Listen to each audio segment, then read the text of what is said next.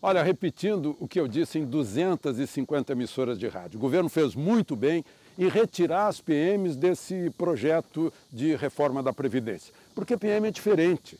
São 650 mil PMs nesse país que dão a vida pela vida dos outros e pela lei. 24 horas por dia correm risco de vida, fardados ou não.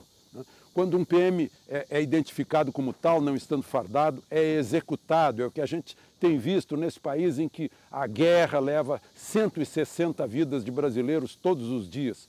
O PM entra saudável, com boa forma física e, no fim, sai doente física e mentalmente. Então, não é uma profissão qualquer, não é como um funcionário público. Trabalha muito mais horas pelo país e pelos outros e pela lei que um funcionário público por semana.